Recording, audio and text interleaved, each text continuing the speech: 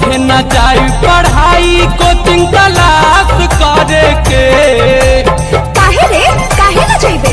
का भइल बा पढ़े न जाए पढ़ाई कोचिंग क्लास करे के माई रे माई रे चुम्मा मांगे मास्टरवा मैट्रिक पास कर